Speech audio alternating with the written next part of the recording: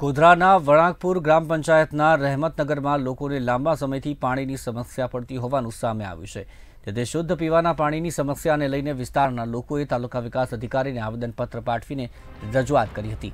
લોકોનું કહેવું છે કે એક મહિના પછી રમઝાન માસ શરૂ થશે અને ત્યારે આ વિસ્તારના રહીશોએ પીવાના પાણી માટે વારંવાર વહીવટીતંત્રને રજૂઆત કરવા છતાં પણ આ પાણીની સમસ્યાને દૂર કરવામાં ન આવતા રહીશોએ તાલુકા વિકાસ અધિકારીને લેખિતમાં રજૂઆત કરી છે. તો સાથે જ સમસ્યા દૂર કરવામાં નહીં આવે તો આગામી સમયમાં ભૂખ હડતાલ પર બેસવાની ચીમકી પણ ઉચ્ચારી હતી. જોકે આ સમગ્ર મામલે સરપંચ તેમજ ટીડીઓએ વહેલી તકે સમસ્યાનું નિવારણ લાવવા માટે આશ્વાસન પણ આપ્યું હતું.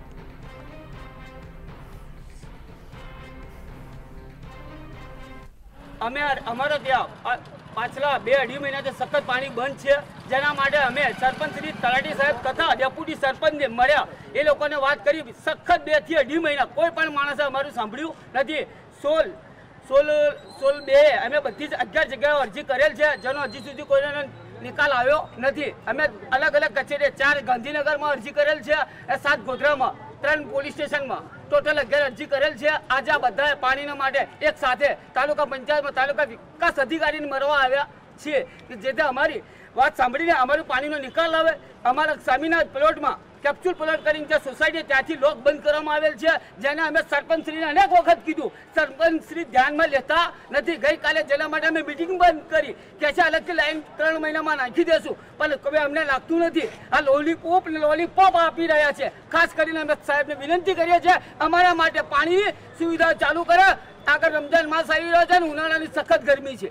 અમે સાત દિવસની અંદર અમારી આ માંગ પૂરી કરવામાં નહીં આવે. ટોટલી બધા અમે ભેગા થઈ આપ સાહેબ શ્રીની કચેરીની બહાર ભૂખ હડતાલ ઉપર ઉતરીશું.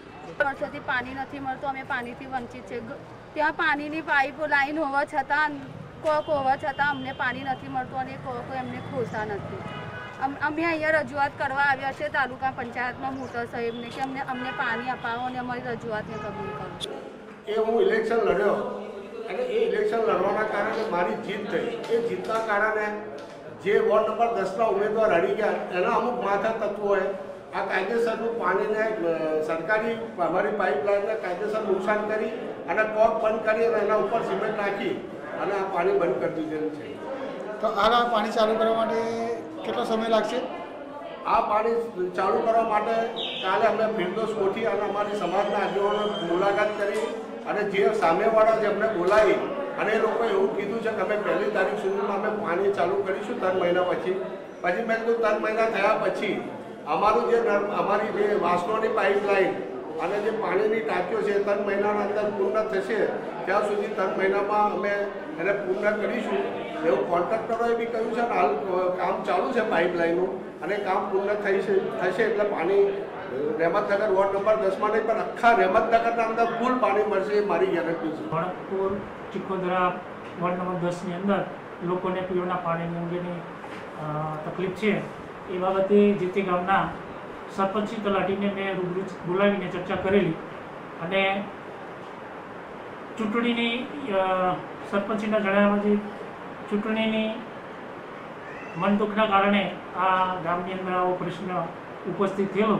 એટલે એ બાબતે સરપંચશ્રી લેખિત પણ આપેલું અને જ્યાં સુધી વોર્ડ નંબર દસમાં પીવાનું પાણી પાઇપલાઇનથી પૂરું ન પડે, ત્યાં સુધી ટેન્કરથી પાણી પૂરું પાડવાની વૈકલ્પિક વ્યવસ્થા માટે મેં અત્રેથી સૂચના આપેલી